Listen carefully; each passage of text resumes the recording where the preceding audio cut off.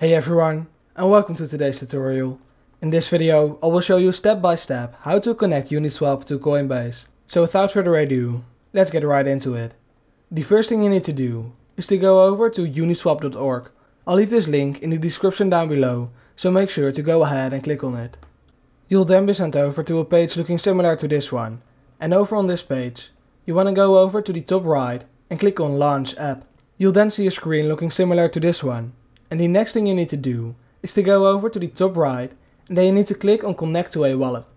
You'll then see this pop up and you'll need to click on Coinbase wallet. Now you can see that you can try the Coinbase wallet extension. So you want to install this. You can click on install. You'll then be sent over to the Chrome web store and you need to click on add to Chrome. You'll then see this pop up and you need to click on add extension. Once you have installed the Coinbase wallet extension, you need to go over to your phone and open up the Coinbase wallet app. You'll now need to go over to Uniswap again and click on connect to a wallet. You'll then need to click on Coinbase wallet and the QR code will pop up. So you can now go back over to your phone and you can then go over to the icon in the top right. Make sure your QR code is visible on screen and you will also need to give the Coinbase wallet app permission to use your camera. And as you can see, the QR code has been scanned.